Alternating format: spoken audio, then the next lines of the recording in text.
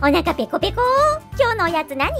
ふんわりもっちり米粉チョコマンだよ。やっほーい。混ぜてレンジで2分チンするだけ。ヘルシーで美味しいの作ってくよ。めっちゃ楽しみ。旗の準備。耐熱性のお茶碗や小鉢にラップを敷いておいてね。生地作り。ボウルに米粉ラカント。ココアパウダー。ベーキングパウダーを入れて混ぜるよ。ココアパウダーの塊があるときはスプーンの背などで潰しておいてね。ここでサラサラにしておくと豆乳を加えた時に玉ができず早く混ざるよ。粉を振るのと同じだにゃ。そうだね無調整豆乳を加えるよ。ピンポン。無調整豆乳とアーモンドミルクは牛乳と比べると低カロリー低糖質低脂質。蜂蜜を加えて手早くしっかり混ぜてね。蜂蜜を加えることでコクが加わり全量ラカントで作るよりもしっとり感と美味しさがアップするよ。なるほど。こんな感じに滑らかになったら OK チャンネル登録よろしくね。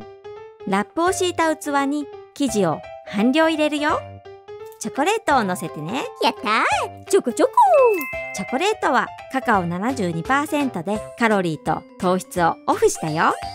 残りの生地を入れてね。レンジで加熱5個600ワットの電子レンジで2分加熱するよ。表面がふっくらして水分が飛んでベタつかなくなったら OK 器に入れたままだとそこに水分が溜まってべちゃっとなってしまうので早めに取り出すよ。とても熱いのでやけどに気をつけてね。それじゃあいくよ。えいスポット取れたにゃん。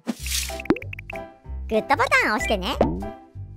チョコとろーりヘルシーな米粉チョコマンの完成。それじゃあいただきまーす。なんじゃこりゃ。めっちゃうまうま。ふんわりもっちりなココア生地にとろーりチョコが合うよね。うんうん。卵も油も使ってないってびっくりだにゃん。こりゃチョコ好きにはたまんにゃ冷めると硬くなりやすいので温かいうちに食べるのがおすすめ。食べきれない分は乾燥しないようにラップをしたり保存容器に入れたりしてね。食べる時に600ワットの電子レンジで10秒くらい温めるとふわもち食感ととろりチョコが復活するよ。最後に米粉を使用するメリットを紹介するよ。米粉ってすんごいにゃー。ボブチン米粉のおやつ大好き。美味しくってヘルシーって最高だにゃん。この動画が良かったなって思ってくれた方はグッドボタンとチャンネル登録で応援してね。それではバイバーイ